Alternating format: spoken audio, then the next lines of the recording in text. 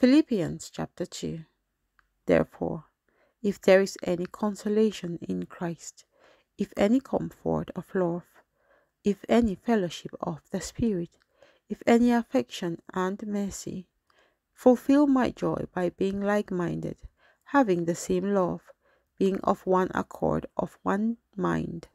Let nothing be done through selfish ambition or conceit, but in lowliness of mind let each esteem others better than himself. Let each of you look out not only for his own interests, but also for the interests of others.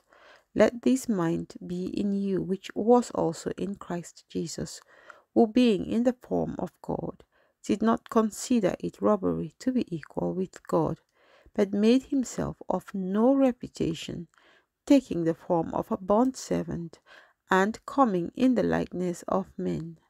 And being found in appearance as a man, he humbled himself and became obedient to the point of death, even the death of the cross.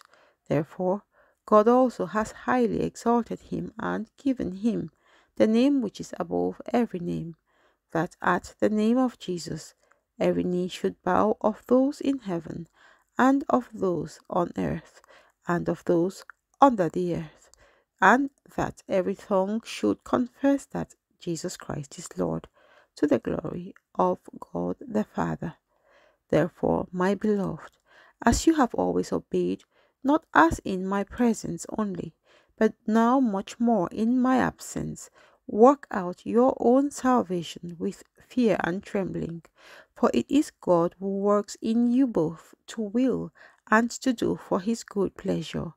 Do all things without complaining and disputing, that you may become blameless and harmless children of God, without fault in the midst of a crooked and perverse generation, among whom you shine as lights in the world, holding fast the word of life, so that I may rejoice in the day of Christ, that I have not run in vain or labored in vain.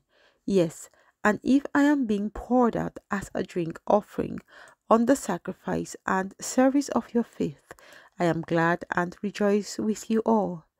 For the same reason, you also be glad and rejoice with me. But I trust in the Lord Jesus to send Timothy to you shortly, that I also may be encouraged when I know your state.